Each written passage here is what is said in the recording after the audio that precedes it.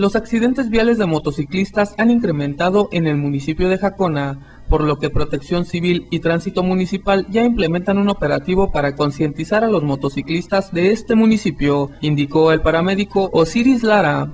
Este se cubre todo tipo de servicios, ya sean personas enfermas, accidentes, choques, volcaduras y lo casual, las motos, los choques, los lesionados por caída de motos normalmente.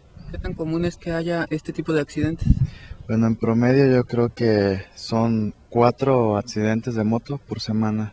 Bueno, sí se, está sí se ha estado trabajando en, en coordinación con lo que es tránsito para ahora sí que implementar lo que es el casco con todas estas personas y ya los policías y tránsitos pues se encargan de llamarles la atención de que si no usan el casco, lo que les puede pasar y cuestiones así.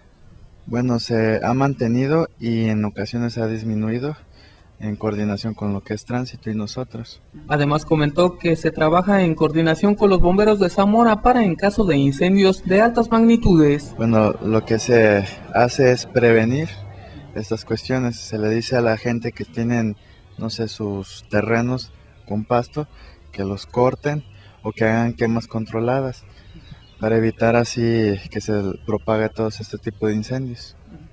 ¿Es común que haya incendios aquí en esta cabecera municipal?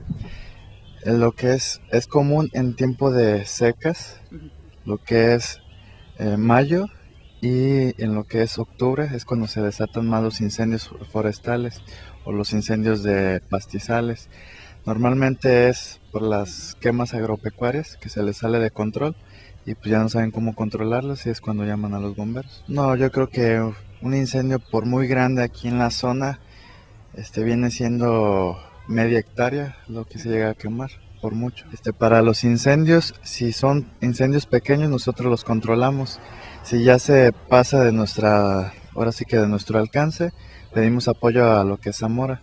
Ellos nos apoyan a lo que es rescate o los bomberos municipales. Informó para nuestra visión noticias Iván Cortés.